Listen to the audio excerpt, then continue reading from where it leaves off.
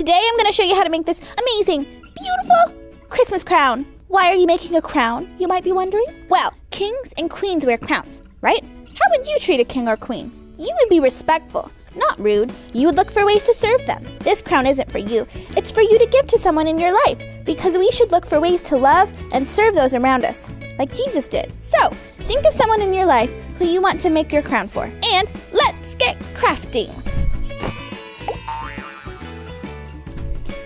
Thing you're gonna do is print out this template. You can find this template at inthegapkids.org or linked in the description box below.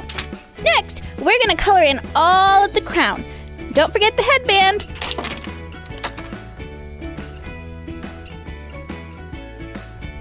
Beautiful.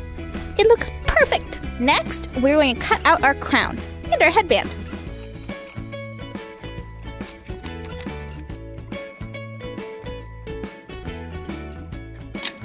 Wow, I've never seen a more beautiful sight in my life. Next, if you want to add a little bit extra pizzazz to make your gift extra special, which I highly recommend, we're going to add some glitter. I'm going to use multicolored Christmas glitter, but you can use whatever you have.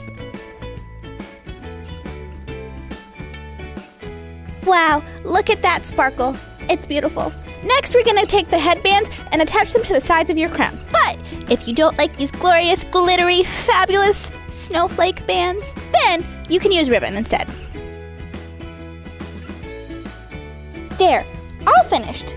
My crown is for JD, so I'm gonna go find him and show him the crown I made for him. Then I'm gonna make sure it fits around his head. I'm gonna put my final piece of tape in place to secure the headband. Now, after you give your crown to the person you made it for, I have a challenge for you. For the next day, look for as many ways as you can to help that person. It doesn't have to be something really big.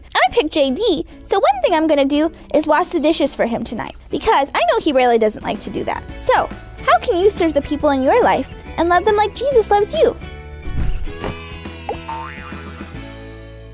Hey, JD! I have something for you.